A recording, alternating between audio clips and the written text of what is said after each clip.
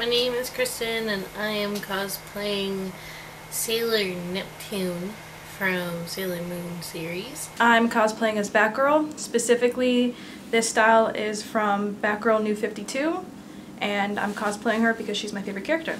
Hey, Dark Sage here. I'm here to talk about cosplayers against bullying. You know, I did do panel. I'm gonna do keep doing panels. I'm doing one in MystiCon in May. And I'm doing this video for Cosplayer Nation.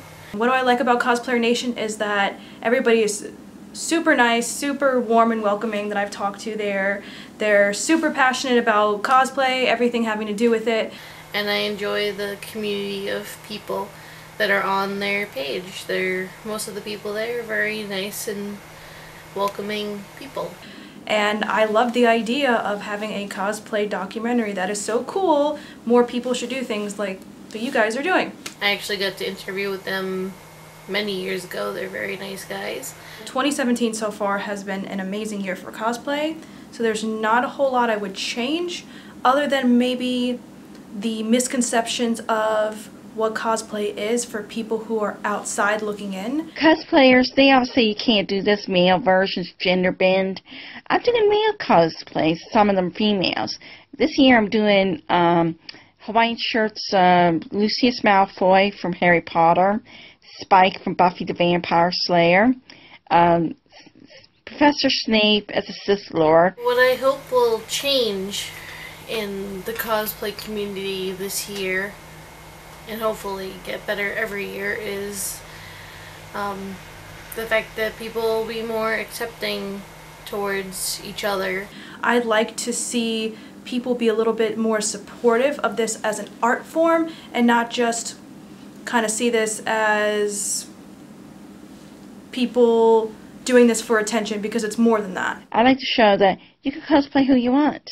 No matter how old you are, how big you are, how small you are, you know, it's just for fun. You know, not competition. Say, hey, you can't do this. You know, you shouldn't be wearing that. No, no, no, no, no, no.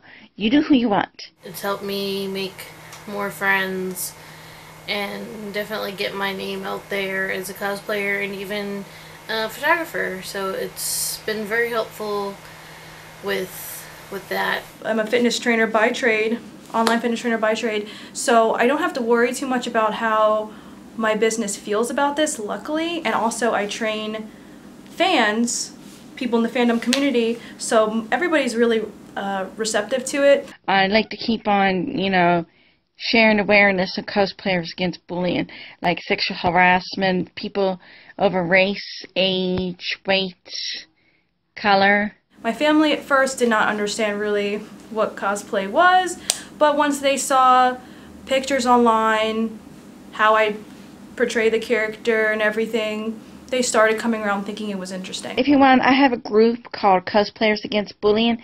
Check it out. You know, join in. But one thing I have two rules. One, no bullying. Two, no harassment. So that's all for me. Thank you very much for this opportunity. I really appreciate it. If you don't know who I am, my name's Katrina Texidor, and my cosplay name is Geek Unique Cosplay. Geek Unique Cosplay. Thank you very much, and thank you, Cosplay Nation. See you then. Bye.